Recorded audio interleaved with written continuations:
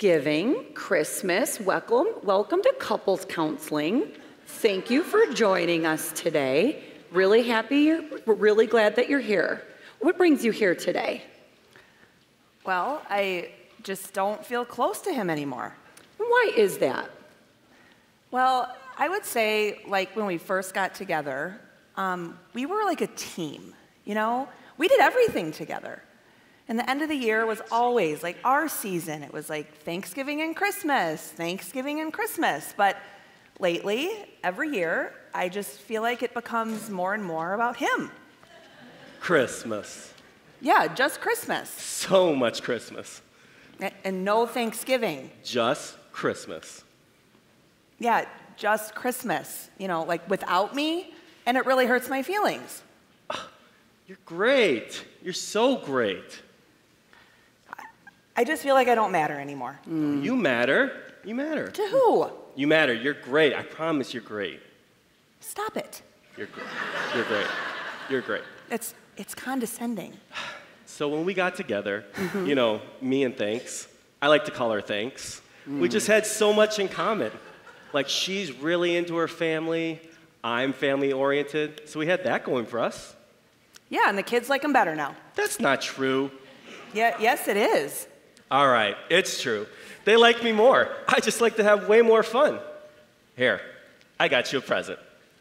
You're gonna love it. Really? Yeah, open it up. It's it's great.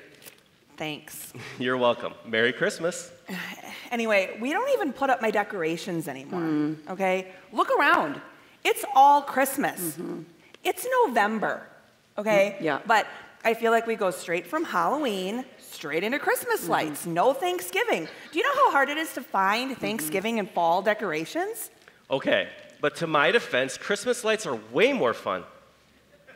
How dare you? Oh. How long would the two of you say your problems have been occurring? At least a decade. Mm, I don't know. I don't think we have any problems. At least. I think that we're good. I got you oh. another present. Uh, stop it. I don't want a present. Oh. Okay? Okay, so what I'm clearly the both of you are very passionate people.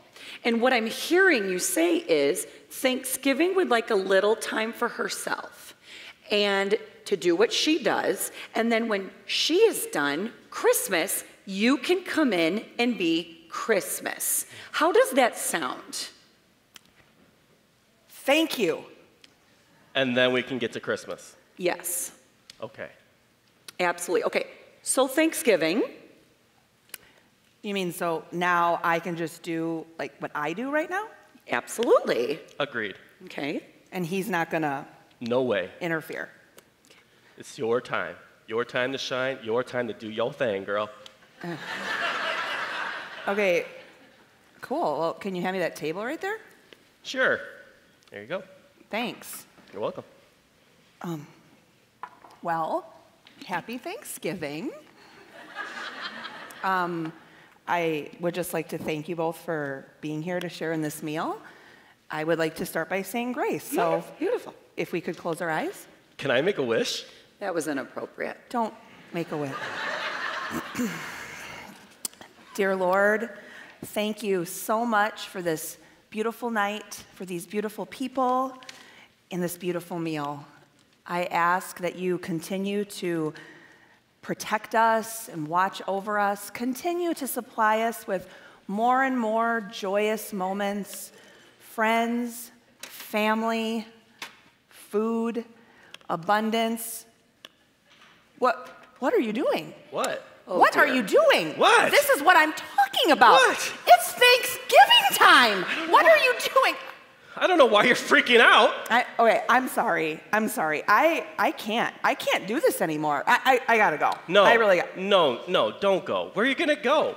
Listen, before you go and do something irrational, let's give him a call. Call who? You know who. Oh, no.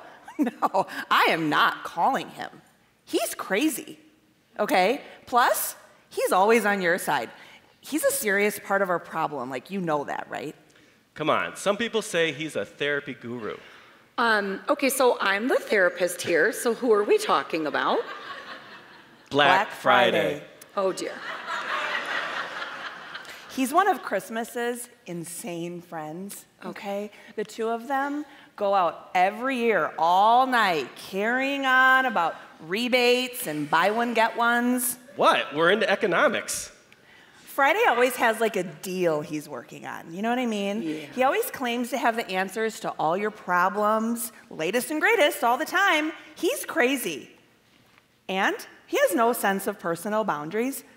Last year, he called before we were even done with dinner. He just gets me so pumped up. He's amazing. We at least have to give him a call. I know he'll have something that can help us. No, never. Th- th- that's not going to happen. Ser- seriously, who is that? My BF. You, do you mean your BFF? No, BF, Black Friday. Unbelievable. It really is like I don't matter anymore. You know what? Excuse me for wanting a little attention. Have a holly jolly, whatever. Wow. Okay. I know this is very unprofessional of me, but I have to say, I am a huge fan. Really? I am huge fan. That means so much to me. You have no idea. I'm just going through so much and I'm in so much turmoil. I got you a present.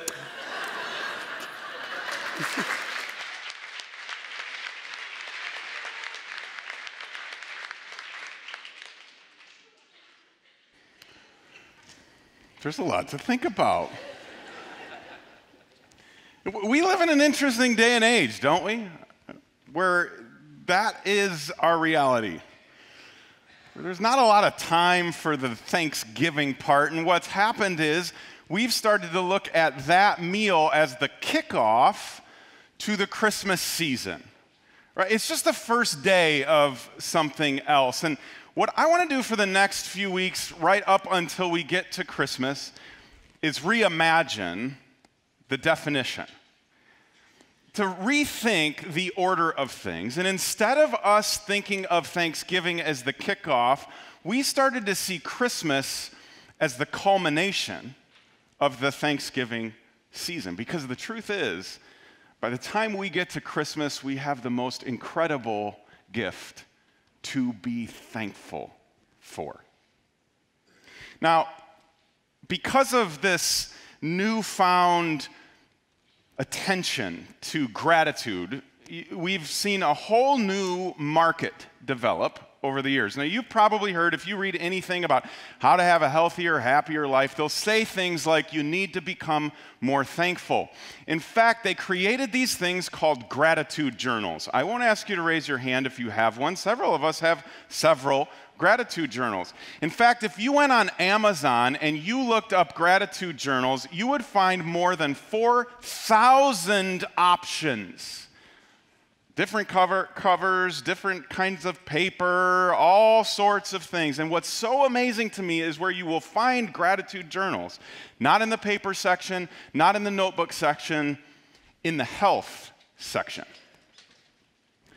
Now, here's what's so interesting to me we've found irrefutable evidence that gratitude is a good thing. Like Christianity and, and, religion aside, we have discovered that psychologically speaking, having a grateful attitude and a grateful heart is good for your soul. And if we have so many possibilities now to help us live that way more often, why in the world do we need a journal? Why do we need this thing that's going to remind us over and over again to be grateful? And if you step back even wider, why do we need a day every single year to remind us to say thanks? If it's so good for us, why are we not doing it on a regular basis? Why is it this thing that someone needs to spur us onto? I think it's because gratitude is short lived. And you might have a moment where you're thankful. Where you're thankful for your family, you're thankful for your dinner, you're thankful for your home, you're thankful for your umbrella, right? You have these moments where you're thankful, but inevitably something else comes along that distracts you from that gratitude. There, there's quickly another need that comes on the radar or another place to get, and we're just on the move all of the time. And our gratitude quickly becomes turned towards what we don't have, and we would be grateful if we had that thing. You need no more evidence of this than what has just transpired over the last couple weeks. A lot of us get done with Thanksgiving dinner and head to the mall. And we start doing our shopping because it's Black Friday and there's deals to be had. Now, here's what's interesting about our shopping habits when it comes to Christmas. Now, I'm not going to ask for crowd participation because you're not going to want to admit to some of these things. But starting on Black Friday, 58% of us will buy a gift for ourselves. And on average, we will spend $140 on ourselves during the shopping season. It's about us, right? Like, this is supposed to be when we go out buying for other people, but inevitably it becomes about us. And here's what's even crazier to me the number one day for returning things to retail stores is December 26th at lunchtime. We don't even wait 24 hours. If we don't like it, we're going to take it back and get something that we wanted because we have a hard time being grateful for what we've got. A recent poll went out into the shopping areas and they were asking people, is there any place else that you'd rather be? And the vast majority of people said yes. But did you know 20% of people said, I'd rather be sitting in a dentist chair than shopping for other people? We're incredible. We, are just naturally about what we don't have. We have a very hard time keeping our gaze on the things that we do have.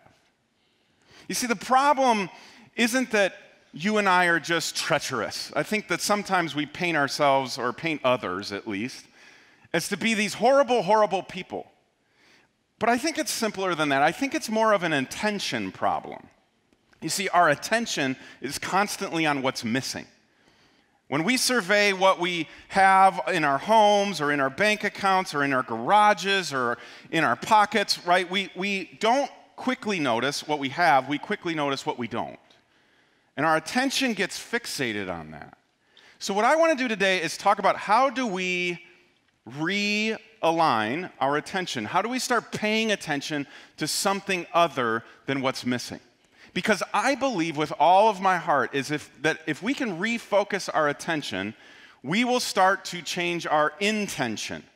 And here's what I mean by intention what, what we're about in the next three to four weeks becomes radically different because we're focused on something different. We talk about this often, but you know, when you're driving down the car and you look to the side, your car will inevitably start to swerve wherever you're looking. Your body will follow what your attention is fixed on. So if we change what our attention is, our intention, or where we're going, what this is all about, will have to change, which means the very definition of what the Christmas season is all about will be altered.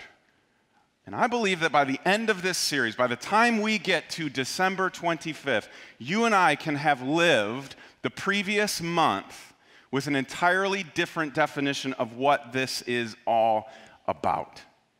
And I think you and I will have the most wonderful time of the year again because we've changed what that is all about.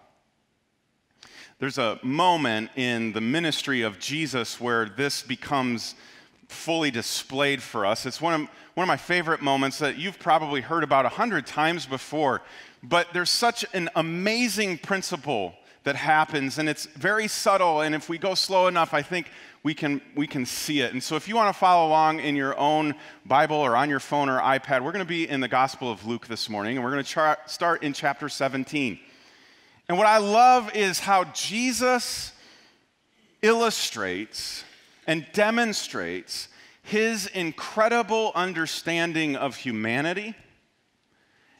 And he does such an amazing job of helping humanity understand the beauty of gratitude.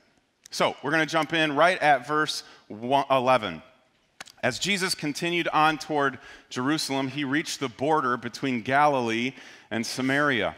As he entered a village there, ten men with leprosy stood at a distance, crying out, Jesus, Master, have mercy on us. Now, leprosy is a disease that we don't come in contact with very often, but it was a big, big deal back in this day and age. Leprosy meant that you were unclean. And if you were unclean, you were unfit for worship. And if you were unfit for worship, you were unfit for community. And you had to live your entire life in isolation, doing what I call announcing you're ugly. You had to tell everybody because, according to the law, that was the rule. Just listen to what it says in Leviticus, the Old Testament law. Those who suffer from a serious skin disease must tear their clothing and leave their hair uncombed they must cover their mouth and call out, unclean, unclean. As long as the serious disease lasts, they will be ceremonially unclean. They must live in isolation in their place outside the camp. Lepers were literally kicked out of town, and they had to go live on their own. And oftentimes they would congregate and they would form their own communities because they were done for. No one wanted them, no one cared about them. They were just unclean and had to be removed. Can you imagine if whatever ailed you, you had to announce to everyone? We use exclamation marks all the time now in our texts and in our social media posts, but when we see unclean exclamation mark, unclean exclamation mark, it was shouting. They had to shout to everyone that came around them, I am unclean, don't come near me. Because if you do, you will be unclean and you will have to join us. And then Jesus comes along, and these 10 lepers approach him, and he doesn't send them away. About seven years ago, I got to go to India, where there are still leper colonies. People that have been removed from the main part of society and live on their own, and it's only the Christians especially in that kind of thinking, karma thinking. You don't go and you mess with them. That, they deserve that. That's what karma has produced in their life. So it's only the Christians that will go and feed them and provide for them and touch them. It is the saddest existence. They're deformed, they're dirty, they're alone. So we cannot underestimate or overstate the power of Jesus not telling them to get away from me. At some point, they come to this understanding where they don't have to make the law announcement. You notice that? They don't say unclean, unclean. They just come to Jesus and say, Can you please have mercy on us? And then in the next verse, Jesus responds. He looked at them and said, Go show yourselves to the priests. And they went. They were cleansed of their leprosy. And we could talk all day about this moment the, the fact that their healing begins when they start walking. And maybe sometimes God calls us to start walking, start moving on what He's calling us to, and then we experience the good. But what's interesting to me is that Jesus, who has all the power in the world to heal them, sends them to see the priests. You and I have to understand that the priests were kind of the health inspectors of the day. And so you had to go to a priest to be officially called clean. So Jesus could heal you, but until a priest came along and looked you over and said, I don't see any more spots, and I believe this person is clean and released from the old the, the law of having to announce this and all of that stuff, you could not go on with your life. And I just love that Jesus understands that. And instead of resisting, he says, Listen, go see the priest. I got you. And so they went. Big steps of faith. Ten people, big steps of faith. They start walking and they head off. And as they're going, the scales start to fall off and their heels, their skin starts to heal. And can you imagine the elation as they're walking and seeing what Jesus has done? And then we come to verse 15, and the whole dynamic and feel of this story changes. Ten people walk off. One of them, when he saw that he was healed, came back to Jesus shouting, Praise God. He fell to the ground at Jesus' feet, thanking him for what he had done. This man was a Samaritan. And we've talked before, if, you, if you're not familiar with who the Samaritans are, Google it. They were hated by the Jews. And Jesus consistently made them the hero of his stories. We remember the story of the Good Samaritan. So the fact that it's a Samaritan, and we, we assume that the other nine were probably Jews, but it's the Samaritan, it's the dirty one, it's the outsider that comes back to Jesus and says, Thank you. While the other nine continue to head into the temple to visit the priest. And it's easy for me as I read this to go, Shame on those nine. How dare they? They get this great blessing and they don't have a minute to turn around and thank Jesus for what he's done. And then I'm, I'm smacked with the reality that I'm more them than I am this one. Right? Because here's the pattern in my life, at least. I will regularly ask God for help. God, I need this. God, I got to have this. God, if you don't come through for this, everything else is going to fall apart. I need your help. And I ask. And I spend most of my time with God asking Him for help. And then what's amazing, in all of God's grace and mercy, He gives the help. He offers it up. He comes through in some way and wows me, and I walk away going, God is good, God is great, and I'm so thankful. And then I take my second step and I forget the help. Subtly, without thinking about it, what's been given to me becomes mine, as if it originated with me. And I don't see it as help that was given, I see it as help that I found. And then what happens is I get busy with the blessing. You and I get busy with our blessings. God gives us something, blesses us with something, and then we have to go about life. We have kids or grandkids or nieces or nephews, we have jobs, we have bills, we have parties, we have all kinds of things, and, and we thank you, God, and then we get going and we're off to the races just like these nine. They're just enjoying the blessing. Remember, they're walking along and their bodies are changing, and they're going, We're going to get to the priest, and he's going to tell us that we're clean, and we can move back into town, and we can see our family again, and we can see our friends again, and this is going to be awesome, and I can go get a job, and I can. And we just get busy. Which is exactly what the next 21 days of your life are going to be, aren't they? Busy. It's not that you're not grateful. I actually think that these nine, they had a part of them that as they're going had a grateful heart, but they were just too busy with the blessing to turn around and actually say something about it. Reality is, for a lot of us, at least for these nine, Thanksgiving is an inconvenience. I got an appointment. I got plans. And pausing for this one to turn around and go the opposite direction of the priest, where his ultimate dream would come true, for him to go in the opposite direction and sit down with Jesus and say, Thank you, that is counterintuitive because it's inconvenient.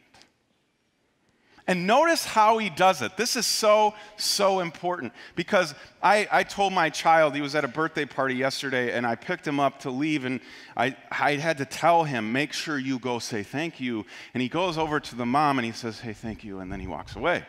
And I said, No, no, no, you need to go back and tap her on the shoulder and get her attention and say, Thank you, which is exactly what this guy does. It's not a covert thank you. Did you notice that? He goes back shouting and he falls down at Jesus' feet. He's making a scene with his gratitude. He is doing it out loud. Everybody around is turning and looking at what is happening over here. And what this guy is doing is he's shifted his own attention towards Jesus and not from what he's going to get. And he's calling others' attention to Jesus simply because he's locked his own on him. It's an incredible dynamic. And he falls down at Jesus' feet and acknowledges that this blessing is from him. And everybody around that's hearing this is going, wow, Jesus is something. I need to know more. What this guy does is he reminds us that gratitude is not just an attitude, it's an activity. Gratitude is something that we do. It's not something that we cognitively agree with. And this man goes about doing that, and he draws other people's attention to Jesus, and Jesus looks good. And what my simple definition for glorifying God is, is that you make him look good. So, we glorify God by thanking God. If you want to make God look good in your life, then thank Him on a very regular basis and do it in front of other people. We glorify God by thanking God. You see, so many times I'll talk to people and they'll, they'll hint at the idea that I don't know how to glorify God unless I go into ministry, unless I go into the mission field, unless I start a nonprofit that's going to help churches or something like that. And I quickly go, no, no, no, it's way simpler and yet way more powerful than that. You do what God has made you to do, and you thank Him as you go, and you will honor and glorify Him. Everybody's attention gets redirected in this moment. And it all happens as the result of Thanksgiving. And so we struggle every year with how do we make Christmas more about what it's supposed to be? And we think it's less lights or don't give as many gifts or read the Bible stories more. And I'm this year for me, it's just I'm just gonna thank him more. As often as I can, I'm going to just thank God for everything that comes along in my day. And I believe that at the end, Christmas will have been different. Here's where I get this idea. It's from this interaction between Jesus and this man. This is how Jesus responds to him shouting. Remember, he's shouting, he's down on the ground at Jesus' feet. Jesus asks, Didn't I heal 10 men? Where are the other nine? Has no one returned to give glory to God except this foreigner? Did you notice what Jesus did there? He changed a word. The man comes back to say thank you, and what does Jesus call it? Glory. Didn't anybody else come back to bring glory to God? Didn't anybody else, in fact, some of your translations may read, didn't anyone else come back to give thanks to God? Didn't anyone else come back to give praise to God? Jesus says, didn't anyone else come back to bring glory to God for what he has done for them? You see, for me, bringing glory to God is we change what our attention is aimed at. This man is walking in a direction. All 10 head off to the temple, and all of a sudden, this guy goes, Wait a minute. And he redirects his attention towards Jesus. And now, instead of moving that way, he begins to move back to Jesus. And so his attention has changed his intention. It's changed where he's going and what this is all about. This is no longer about his healing, this is about the glory of Jesus. This is about the thanksgiving to Jesus. And that redefined the entire thing. Here we are a couple thousand years later, reading this account, and we aren't talking about the miracle. We're talking about the response to it. Redefined the entire thing. We change our attention, we change our intention, we change the definition. Every single time. And in so doing, we make God look good. We glorify God by thanking God. We change what this is about. And for everyone around us, it's changed what it's all about. You see, because Thanksgiving is ultimately about recognition. Right? When you are offended that your kids don't say thank you or your grandkids don't say thank you, you've been there, right? This is one of the most irritating moments of your day if you're a parent. And even if you're not a parent, you've been around someone in your office, you bail them out, you hand them the report that they were supposed to do, and they just go about their business, and you go, they didn't even say thanks. Or you've been in traffic where you stopped and you were kind and you were Christ like and you let that person who went down, even though the sign had been telling for 10 miles the lane is going to end, you're kind and you let them over and you get mad when they don't wave. because that wave is a thank you. That wave, that thank you, is an act of recognition. The only reason I'm not in the ditch, the only reason I'm not starving, the only reason I'm not being fired is because of you. We want that recognition, and God deserves that recognition. And what recognition is all about is how we think about whatever has transpired. And so for me, our thinking is tied to our thanking who you're thanking, how often you're thanking, reveals what you are thinking about what you have and even what you don't have.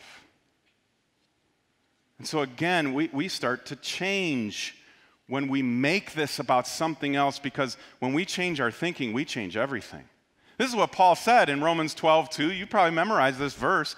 Paul wrote, Let God transform you into a new person by changing the way you think. Because your behavior will follow suit. Your attitude, your heart, it'll follow suit if you change the way you think. And I think we do that by thanking God more. And so this whole moment wraps up with Jesus delivering a very simple phrase. He says, And Jesus said to the man, Stand up and go, Your faith has healed you. His act of faith. And his act of faith is thanking Jesus, recognizing Jesus, thinking different about his blessing. That act of faith has made him well. You see, I grew up for most of my life trying to figure out what faith is. And sometimes I think it's just being really focused. Like I'm just going to have a lot of focus on God, and that's faith. And sometimes I've thought faith is believing that God is able to do something. And other times I thought faith is taking a step when you don't know exactly where your foot is going to land. And it is, it's all of those things. But in this moment, Jesus says faith is when you glorify God, and glorifying God is when you thank Him for what you have. So if you want to change everything, just start doing that.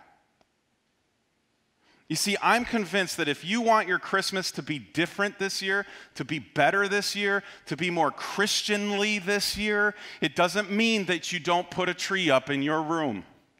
It doesn't mean that you don't buy a bunch of gifts for people. It doesn't mean that you don't put up decorations. It doesn't mean that every night you read the Christmas story again. Those would all be great if you decide that's what you needed to do, but I think it's easier than that. If we want to change Christmas, then let's change the way we think. And let's make it all about thanking Him the whole way through. We have to inconvenience ourselves with thankfulness. So, yes, this might get in the way of your baking. Because God is going to have a moment with you where He's going to be like, Are you going to thank me for these ingredients? And you're going to say, Well, I bought these ingredients. And He's going to say, Well, do you know where you got that job that gave you the money that paid for those things? And can we talk about where you got the skills to get that job, to get that money, to get those things? Can we talk about where all of this has come from? And you're going to have to pause.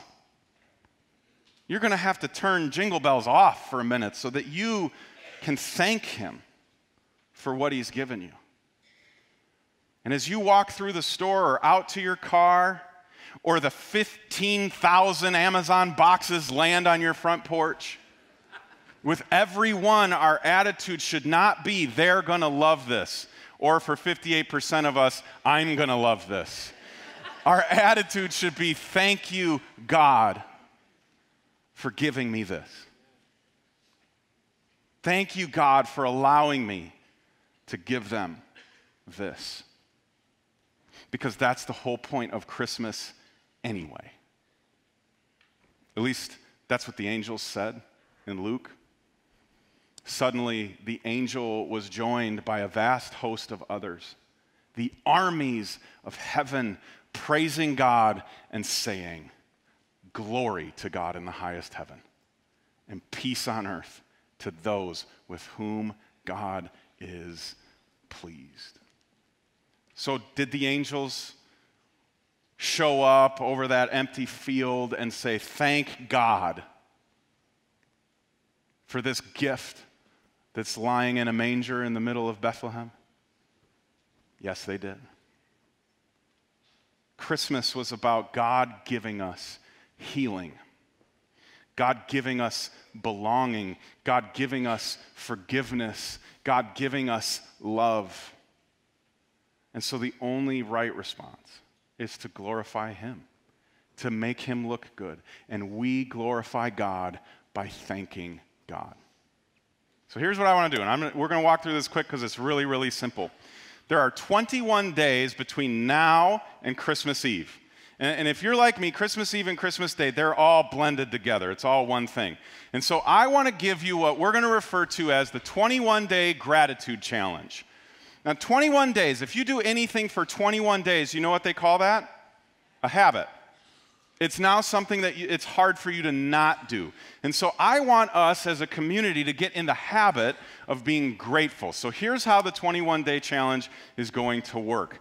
You're going to stop by Walgreens or Office Max or Target or Walmart or anywhere that you like to shop, and you're going to buy a pack of post it notes. Get enough of post it notes for every member of your family. Super simple. Don't go buy a gratitude journal. You can do that in the new year. Ask somebody for Christmas. You just need post it notes. And here's what we're going to do collectively.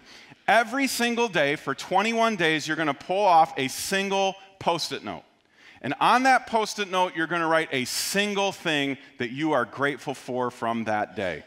Now, most experts are going to say you should write down three to five things that you're grateful. We're going to take baby steps. One thing every day on a post it note, and then you're going to find a blank section of wall in your house and you're going to put those post it notes up there. Now, you can do this as a family, and if you're a family of like 10, you'll have a bunch of post it notes. You can wallpaper a wall. But you're going to put all of them up there. So every day you're going to go to this place and you're going to put these post it notes up on the wall. And so that every day you walk by there, you've got this, this collection of things that you are grateful for over 21 days.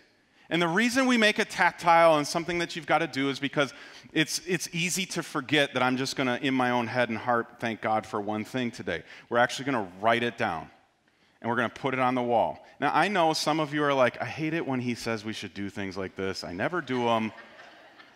I dare you to try this one. Try this one. 21 things up on the wall. And then on December 23rd, which is the Sunday before Christmas, two, three weeks from today, you're going to take all 21 of those things down and bring them to church with you. And we're going to do something really cool with those things. But we, I want, I'd love for 100% participation. If everybody, 21 things, you can do 21 things. You can come up with 21 things you're grateful for in the next 21 days. One a day, put them on the wall, reflect on them, and refer to them over and over again, and then bring them to church on the 23rd. We'll remind you about the 23rd. But what we're going to do is we are going to redirect our attention for the next 21 days. We're going to make this about what we have rather than what we don't have. Because you can't be thankful for what you don't have. You know that, right? Well, sometimes we can be thankful for what we don't have. Like, I don't have illness and I don't have those kinds of things. So maybe that doesn't work. But as far as things go, it's hard to be grateful for something you don't have. So this will demand that you look at what you do have. And what's going to happen all of a sudden is you're going to find yourself heading in a very different direction because you'll have changed your intention with this. Christmas has become about something else. And you will get to December 26th, about lunchtime, when everybody else has run into return, and you will have redefined Christmas. And you will understand what we mean by thanksmas. We're just going to give more thanks as a people. And when we get to the 25th, we, we can easily thank God for the greatest gift of them all. We glorify God by thanking God. You could experience this year doing this, you could experience more presence in the holiday. For a decade now, I get to the end of the year and I feel like I didn't even wake up for Christmas. I want to be present in it this year. This kind of intentionality will demand it. You might experience more pleasure or more joy.